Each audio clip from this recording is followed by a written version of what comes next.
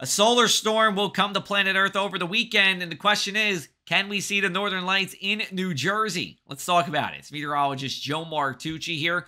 For the first time since 2005, the Space Weather Prediction Center, a government agency, has put us in a severe geomagnetic storm watch. The K index, which is a measure of how strong the geomagnetic storm will be, is an 8. That is severe. And you look at this map, on planet Earth, and you see that New Jersey's right between that K7 and K9. In other words, as long as the sky is clear, we have a chance of seeing the northern light in New Jersey. In fact, this blue line is where that line would be. This is right around the Atlantic City Expressway from about Philadelphia to uh, about Long Beach Island or so. If you're north of there, you at least have a chance of seeing the northern lights if you look to the north and have a long exposure camera on you. You really have to go further north into those green areas to see it with the naked eye. But at least we have a chance in parts of New Jersey here. So we take a look at our futurecast because, of course, if it's cloudy, we're not going to see anything.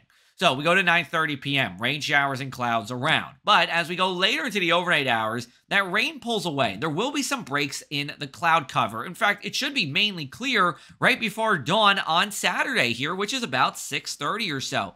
So, if you want to go see the Northern Lights, my advice to you would be to check it out before dawn on Saturday. We'll also look at Saturday night here, where if you're in the far northern part of the state, Hopatcong, Sussex, Paterson, you may be able to see it with a long exposure camera, but there will be areas of rain and cloud cover, especially after midnight. So to recap, Friday evening, not the time to see the aurora, too cloudy, but from about 1 to 6 a.m. on Saturday, you have a chance. If you're north of, let's say, Camden, Philadelphia, over to Long Beach Island here. So let me know what you see. You can send me photos, you can send me videos at Joe Mart WX on social media. And for more from me and our Lee Weather team, check out our Across the Sky podcast.